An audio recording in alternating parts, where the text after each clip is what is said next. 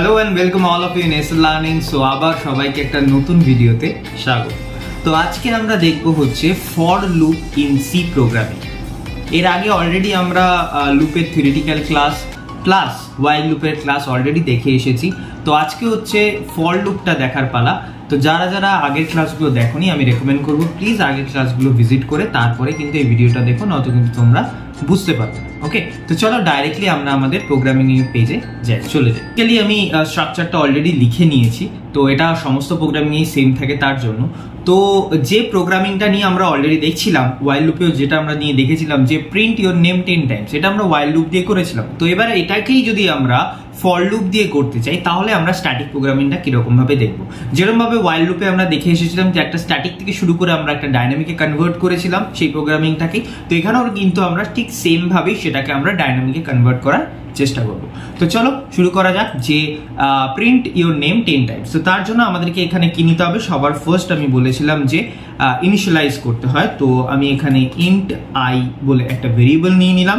এবং তারপরে আমি কি করছি? ফর লুপটা অ্যাপ্লাই করছি ওকে তো ফর লুপের জন্য সবার ফার্স্ট কি হবে? যে ভ্যালুর মধ্যে ভেরিয়েবলের মধ্যে একটা ভ্যালু নিতে হবে। তো ফার্স্ট গেল হচ্ছে initialization part then second one ছিল হচ্ছে কন্ডিশন চেকিং তো কন্ডিশন চেকিং এর জন্য i less than equals to কত অবধি?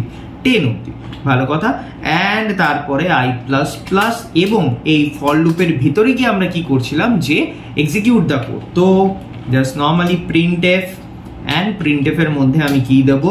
ডাবল কোট দিয়ে আমি এখানে দিয়ে দিচ্ছি হচ্ছে এস আর লার্ন ওকে অ্যান্ড একটা slash for new line printing okay that's it আর কিচ্ছু করার নেই। আমাদের একদম সিম্পল সিম্পল একটা ফর লুপ দিয়ে কোড এটাকে আমরা কি করব? সেভ করব অ্যান্ড এক্সিকিউট করব কম্পাইল অ্যান্ড রান দেখো টেন টাইমস কিন্তু আমার আউটপুটে কিন্তু আমার প্রিন্টটা করে গেছে ওকে তো এর থেকে ইজি কোড আর হতে পারে না, কিন্তু এবারে এই কোডটাকে নিয়ে আমরা একটু এদিক ওদিক করব। মানে হচ্ছে যে এই কোডটাকে একটু চেঞ্জেস করব। চেঞ্জেসটা কীরকমভাবে করা যায়? সবার ফার্স্ট তো আমি দেখতে চাইছি এবারে এই ফল লুপ দিয়ে আমি এক থেকে দশ অব্দি দেখতে চাইছি বা আমি এক থেকে পঞ্চাশ অব্দি দেখতে চাইছি। তো তার জন্য কি হবে? তার জন্য এখানে আমাকে যদি এক থেকে ফিফটি অব্দি দেখতে হয় তো অবভিয়াসলি এক থেকে তো শুরু হবে।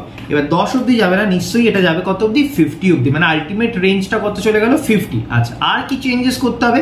আর চেঞ্জেস করতে হবে, এখানে আমি টেক্সটকে আমি এবার আনতে চাই না। আমি কাকে আনতে চাই তাহলে?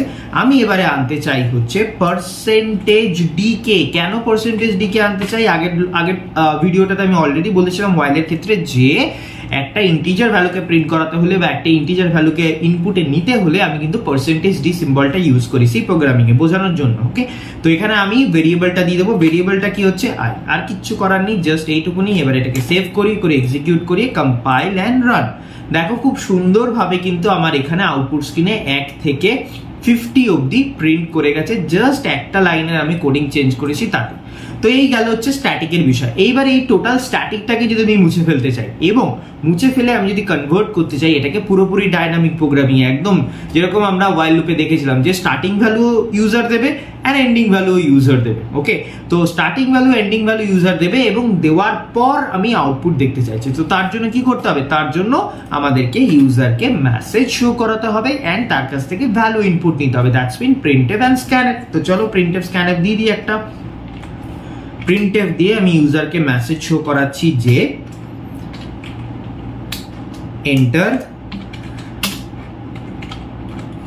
starting number okay enter starting number and scanf তার ভিতরে গিয়ে ইউজার যখন কোনো একটা নাম্বার প্রিন্ট করবে, সেই নাম্বারটা অবভিয়াসলি একটা কিছু ইন্টিজার নাম্বারই হবে অ্যান্ড তা, সেটাকে আমি কার মধ্যে রাখব? আমি নাম ওয়ান বলে ভেরিয়েবলটার মধ্যে রাখব ওকে তো নাম ওয়ানটাকে আমি যখন ভেরিয়েবল নিলাম, তখন নাম ওয়ানটাকে আমি এখানে ইনিশিয়ালাইজও করতে হবে আমাকে, তো আমি নিয়ে নিলাম ওকে অ্যান্ড নেক্সট ওয়ানের জন্য আমি এটাকে কপি করে নিচ্ছি, তাহলে একটু টাইমটা শর্ট হয়ে যাবে আমাদের। নিয়ে এখানে আমি দেবো এন্টার স্টার্টিংয়ের জায়গায় এখানে হয়ে যাবে কি? এন্ডিং মানে আলটিমেট রেঞ্জটা কত অবধি আমি দেখতে চাইছি। অ্যান্ড এটাকে আমি স্টোর করছি হচ্ছে নাম টু এর মধ্যে। তো এটাকেও আমাকে ডেটা টাইপ দিয়ে ইনিশিয়ালাইজ করতে হলো। তো দেখো, নাম ওয়ান নামটা আমি দিয়ে দিলাম। তো আই এর আর আমার এখানে কোনো কাজ নেই এখন। আইটা রিপ্লেস করে দিয়েছি। অ্যান্ড নাম ওয়ান ফার্স্ট তার মধ্যে আমি রেখেছি ওয়ান অ্যান্ড নাম ওয়ান যদি লেস দ্যান ইকুয়াল টু কি হয়? নাম টু হয়। দেন আমি এখানে নাম ওয়ানকে ইনক্রিমেন্ট করাচ্ছি অ্যান্ড আমি প্রিন্টও করাচ্ছি হচ্ছে নাম ওয়ানকে দ্যাটস ইট আর কিচ্ছু করার নেই আমার এখানে। এবার আমি এটাকে সেভ করব এক্সিকিউট করব কম্পাইল অ্যান্ড রান দেখো খুব সুন্দরভাবে আমাকে এখানে আউটপুট চাইছে কি? এন্টার স্টার্টিং নাম্বার তো স্টার্টিং নাম্বার ধরো আমি দিতে চাইছি হচ্ছে আচ্ছা টোয়েন্টি না। টোয়েন্টি যেহেতু ওয়াইল লুপে আমরা দিয়েছিলাম, আমি এখানে দিতে চাইছি hundred okay and enter ending number hundred and ten okay এই দশটা নাম্বার আমি দেখতে চাই। ওকে তো দেখা যাক ওকে আমার এখানে সব কিছুই প্রিন্ট করাচ্ছে ওয়ান থেকে টোটাল হান্ড্রেড অ্যান্ড টেন অব্দি তার মানে আমার এটা কিছু প্রবলেমস আছে। তো চলো দেখা যাক প্রবলেমসটা কি আছে। তো দিস ওয়ান এটা আমরা ডিলিট করতে ভুলে গেছি। সেটা হচ্ছে যে নাম ওয়ানের অলরেডি তো ভ্যালুটা ইউজার এখানে দিয়ে দিচ্ছে। তো আমি এখানে নাম ওয়ান ইকুয়ালস টু ওয়ান কেন দেবো? তো আমি তো ওয়ান থেকে শুরু করতে চাইছি না, আমি নাম ওয়ান থেকে শুরু করতে চাইছি। তো এখানে খালি থাকবে হচ্ছে num R num one less than equals to two that's mean starting value and ending value and starting ভ্যালুটাকে increment করছি। এবার আমি এটাকে সেভ করে যদি এক্সিকিউট করি রান করাই, দেখি হচ্ছে নাকি?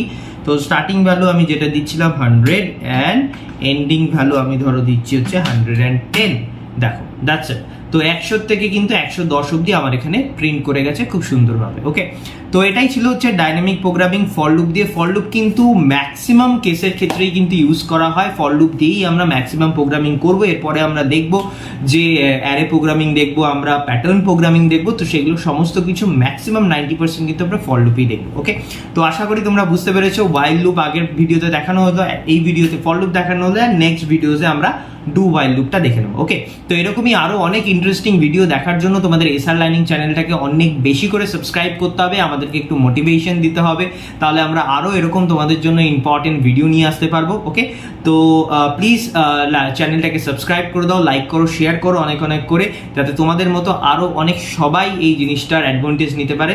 এখনকার জন্য এইটুকুনি, দেখা হচ্ছে নেক্সট ভিডিওসে আরও অনেক নতুন নতুন টপিক নিয়ে।